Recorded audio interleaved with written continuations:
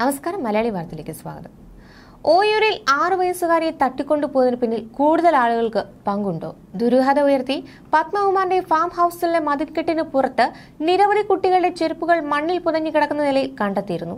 കൂടാതെ നിരവധി ഇഞ്ചക്ഷൻ ബോട്ടിലുകളും ഇതെല്ലാം അവിടെ എങ്ങനെ വന്നു എന്നതിൽ ഇപ്പോഴും കൃത്യമായ വിവരങ്ങൾ പോലീസിന് ലഭിച്ചിട്ടില്ല.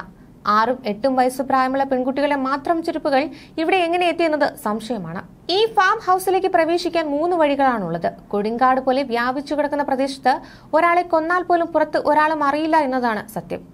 ഇപ്പോൾ ഓയൂർ തട്ടിക്കൊണ്ടുപോകൽ കേസിൽ ആറു വയസ്സുകാരിയുടെ പിതാവിന്റെ രഹസ്യമൊഴി ഇന്ന് രേഖപ്പെടുത്തുകയാണ്. Kottarakkara first class judicial magistrate കോടതിയാണ് തുടരന്വേഷണത്തിന്റെ ഭാഗമായി മൊഴിയെടുക്കുന്നത്. അന്വേഷണ സംഘത്തിന്റെ അപേക്ഷ പരിഗണിച്ചാണ് കോടതി നടപടി. ഓയൂർ തട്ടിക്കൊണ്ടുപോകൽ കേസിലെ വിചാരണ തുടങ്ങാനിരിക്കെയായിരുന്നു തുടരന്വേഷണം ആവശ്യപ്പെട്ട് അന്വേഷണ സംഘം കോടതി സമീപിച്ചത്. കോടതി അനുവദിച്ച സമയം അവസാനിക്കും മുമ്പ് നടപടികൾ പൂർത്തിയാക്കണം.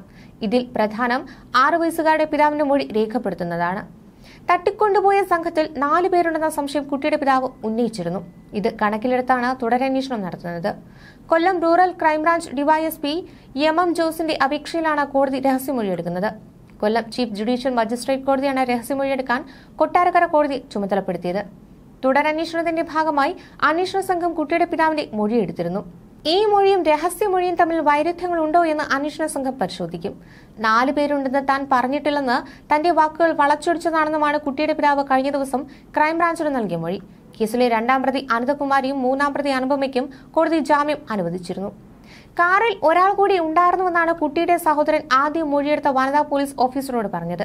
ഇക്കാര്യം എ ഡി ജി പി നിഷേധിച്ചതോടെ തുടർ അന്വേഷണത്തിന്റെ വഴിയടയുകയായിരുന്നു സംഭവം കഴിഞ്ഞ് അഞ്ചു ദിവസം കഴിഞ്ഞാണ് ക്രൈംബ്രാഞ്ച് അന്വേഷണ സംഘത്തിൽ പ്രതികളെ ലഭിച്ചത്. അപ്പോഴേക്കും പ്രതികൾ തെളിവുകൾ പലതും നശിപ്പിച്ചിരുന്നു. അഞ്ചു ലക്ഷം രൂപയുടെ അത്യാവശ്യമാണ് കടുങ്കയ്ക്ക് പ്രേരിപ്പിച്ചതെന്നാണ് കുടുംബാംഗങ്ങൾ നൽകിയ മൊഴി. ഫാമിലുള്ള പശുക്കളെ വിറ്റാൽ ലഭിക്കുമായിരുന്ന തുകയ്ക്ക് വേണ്ടി ഈ കൃത്യം നടത്തിയത് എന്തിനെന്ന ചോദ്യത്തിന് ഉത്തരമില്ല. മറ്റാരിലേക്കും അന്വേഷണം എത്താതിരിക്കാൻ പോലീസ് ബോധപൂർവം ആദ്യ ദിവസം തന്നെ ശ്രമിച്ചതായി സംശയങ്ങൾ ഉയർന്നിരുന്നു. ഇന്ത്യൻ ശിക്ഷാ നിയമം നൂറ്റി ഇരുപത് ബി മുന്നൂറ്റി നാൽപ്പത്തി ആറ് മുന്നൂറ്റി അറുപത്തി ഒന്ന് മുന്നൂറ്റി അറുപത്തി മൂന്ന് മുന്നൂറ്റി അറുപത്തി നാല് എ മുന്നൂറ്റി എഴുപത് നാല് മുന്നൂറ്റി ഇരുപത്തി മൂന്ന് മുപ്പത്തി നാല് വകുപ്പുകളും ജുവനൈൽ ജസ്റ്റിസ് ആക്ട് എൺപത്തിനാലാം വകുപ്പുമാണ് പ്രതികൾക്കെതിരെ ചുമത്തിയിട്ടുള്ളത്. ഇതേ വകുപ്പുകൾ തന്നെയാണ് കസ്റ്റഡി കാലാവധിക്ക് ശേഷവും ഉള്ളത് സാമ്പത്തിക പ്രതിസന്ധി ഉണ്ടായിട്ടും ഫാം വിൽക്കാനോ നന്നായി നോക്കി നടത്താനോ പത്മകുമാർ തയ്യാറാകാതിരുന്നത് ഇപ്പോൾ സംശയങ്ങൾക്ക് ഇടവെക്കുന്നതാണ്. തെരുവു നായ്ക്കളെ സംരക്ഷിക്കണമെന്ന വ്യാജേനെ ഫാമിൽ നിരവധി നായ്ക്കളെ പത്മകുമാറും മകളും വളർത്തിയിരുന്നു. പുറമേ നിന്നും ആരെങ്കിലും ഇവിടെ എത്തിയാൽ ആക്രമിക്കാൻ തക്ക ശൗര്യം നായകൾക്ക് ഉണ്ട്. ഇത് മറയാക്കി നരബലി പദ്ധതികൾ ആവിഷ്കരിച്ചോ എന്നതടക്കം പല സംശയങ്ങളും ഉയർന്നിരുന്നു. നാടൊട്ടിക്കും. പോലീസിനെ ഓടിച്ച് റാംജി റാവു സ്പീക്കിംഗ് കളിച്ച ബോസും സംഘവും പലതും ഒളിക്കുന്നുണ്ട് എന്നത് വലിയൊരു സത്യമാണ്. മറ്റെന്തെങ്കിലും മറയ്ക്കാൻ കുട്ടിയെ തട്ടിക്കൊണ്ടുപോയി വിലപേശി എന്ന് മനഃപൂർവം സൃഷ്ടിച്ചെടുക്കാൻ ശ്രമിച്ചതാണോ? ഇവരെ മറ്റാരെങ്കിലും നിയന്ത്രിക്കുന്നുണ്ടോ എന്നതും ഇനി പുറത്തേക്ക് വരേണ്ടതാണ്.